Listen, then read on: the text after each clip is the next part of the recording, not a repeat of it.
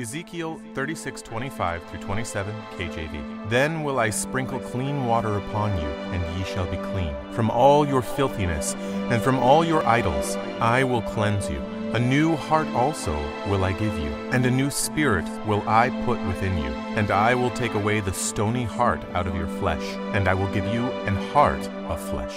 And I will put my spirit within you, and cause you to walk in my statutes. And ye shall keep my judgments, and do them. We all have things we have done in the past that we are not proud of. I will be honest, and I will be the first to hold my hand up. I have done things that I am not proud of. I have done things that I regret. I have had habits that I am ashamed of. There are things in my own life that I have done that I wish I could forget. And I am sure that you can relate to this. If you look at your own life, I am sure there are things which you have done that you do not want the world to know about. And if the truth be told, there are some things we are still struggling with today.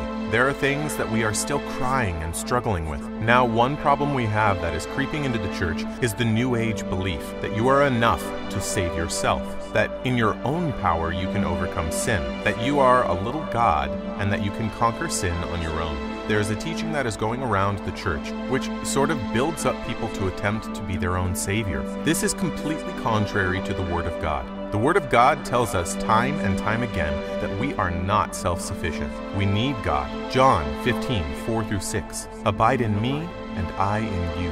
As the branch cannot bear fruit of itself except it abide in the vine, no more can ye except ye abide in me. I am the vine, ye are the branches. He that abideth in me, and I in him, the same bringeth forth much fruit. For without me ye can do nothing. If a man abideth not in me, he is cast forth as a branch, and is withered. And men gather them, and cast them into the fire, and they are burned.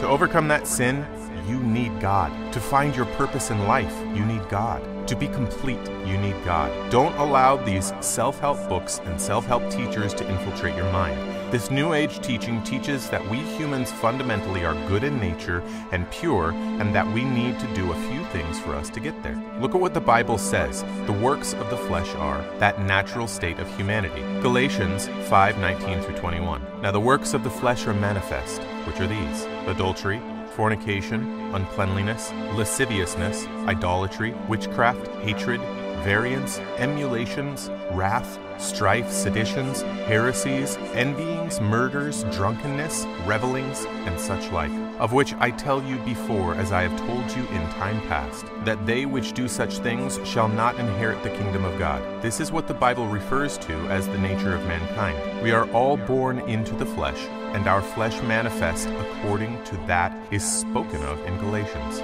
My friends, run from this New Age teaching. You are not enough. You are not self sufficient. You are not able to overcome that sin by yourself.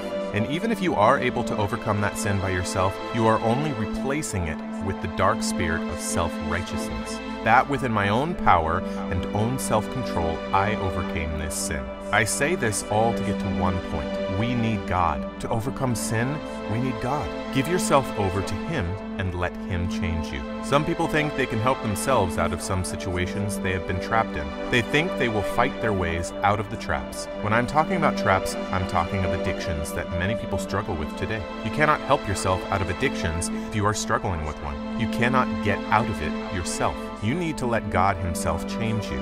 You need to humble yourself before the Lord. God will not help you you are full of pride. Humble yourself and see yourself as what you are a sinner that needs Jesus. When you see yourself as a sinner, that is when God can help. If you are struggling with addiction or sin of any kind, ask God to change you. He says in His words that He will create in you a new heart, He will sprinkle clean water on you, and you will be clean. This is a promise from God to you. This is what God will do for you if you can humble yourself before Him and let Him change you. There are many aspects of our lifestyle that we need to let go of, but it is hard because they have become part of our daily life. For instance, many people struggle with lust in their minds. They just can't help but lust after the opposite sex. They just can't help it. Once they see the opposite sex, they just start lusting immediately. They hate that this happens to them, but they just can't help it. Maybe for you it is deceit and lies that you struggle with. You know it is bad, but you can't help it. You just lie with ease. You feel no remorse for telling lies to cheat and destroy people's lives. You want to change, but it is hard. It is because you are walking in the flesh. Maybe what you are struggling with is anger. You just get angry at the drop of a dime. You live your whole life on the edge. Your family is even scared to interact with you. Your husband or wife has to tiptoe around you because you are a ticking time bomb. You know it is a horrible habit and you want to stop your propensity to get angry quickly, but you cannot stop it. Anger has deprived you of many opportunities, or maybe has even ended your marriage, and you are feeling terrible about it. This is not something you want for yourself. Maybe you have even attended a series of anger management classes, but none of them have helped. God is here to help you. I may not have stated the sin you are struggling with, but you know yourself what the sin is you struggle with. Do you want God to change you? You have a part to play. There is something important that you need to do if you want God to change you truly, and that is surrendering your life to Christ. Surrendering your life to Christ is simply acknowledging, can't do this by myself, Lord. I need your help. Maybe you are even born again, but you still want that change in a particular area of your life. The reason is that you are not inviting Jesus to that part of your life. This is the time to invite Jesus to that part. It is time for you to invite Jesus to every area of your life. Don't shut him out of some parts of your life.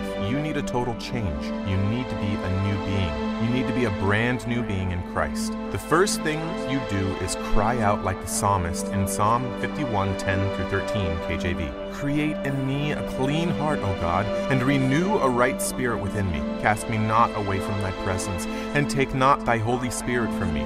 Restore unto me the joy of thy salvation, and uphold me with thy free spirit. Then I will teach transgressors thy way, and sinners shall be converted unto thee. This is the first thing you need to do. David needed a change of heart. He knew that he had failed. He knew his heart had been corrupted by sin, and he cried out, that the Lord changes his heart. This is what you should do today. Let God see that you really want him to change you. Let God see that you are serious about the change and you want a new life. Cry out to the Lord for a change of heart. God will listen to you and will change you. Second Chronicles 7:14 KJV. If my people, which are called by my name, shall humble themselves and pray and seek my face and turn from their wicked ways, then I will hear from heaven and will forgive their sin and will heal their land. God will hear you from heaven when you cry out. Paul says in Galatians 2:20 KJV that I am crucified with Christ. Nevertheless I live, yet not I, but Christ liveth in me. And the life which I now live in the flesh, I live by the faith of the Son of God, who loved me and gave himself for me. Paul became born again. Paul crucified the old self with Christ, and he lived again, but with Christ. He became a changed being. He lived for Christ. He submitted himself to God to be changed through Christ. This is what God is telling every one of us today. He wants to change us, but are we ready to experience the new birth? Are we ready to be crucified with Christ and be raised in Christ again? Are we ready to accept Jesus and forget about the life of sin? Are we ready to walk in the Spirit and not in the flesh? Are we ready to refuse to gratify the desires of the flesh? Are we ready to be changed by God? You may say you want God to change you, but in reality, you may not be ready to be changed. Are you ready to be changed? Live your life for Christ. Romans 12 2, King James Version. And be not conformed to this world, but be transformed by the renewing of your mind, that ye may prove what is that good and acceptable and perfect will of God. The best way to live as a Christian is to live for Christ. If we live for Christ, there are some things that we will not do in our lives, and some things that we will steer clear from. When we live our lives for Christ, we will do all that Christ asks us to do. We cannot allow anything to come in between us and Christ. When we give our lives to Christ, when we decide to leave the part of darkness to come to the part of the light, we exchange our lives for eternal life. We collect the life of Christ in us and we give Him our own. The life we are living now is not for us, but for Christ. If you are living for Christ, you will not have hatred in you. If you are living for Christ, you will not have bitterness in you. If you have the life of Christ in you and you are living for Christ, you will have the power of God in you because the life of Christ is filled with the power of God. You need to know that you, as a Christian, must have the life of Christ in you and you must live for Him. Don't think because you are calling yourself a Christian, you are already living for Christ. Some people will be living in sin and still be saying they are living for Christ. You cannot be living in fornication and be living for Christ. You cannot be living in lasciviousness and be living for Christ. The life of Christ is not a life of sin, it is a holy life. We need to know the right thing to do.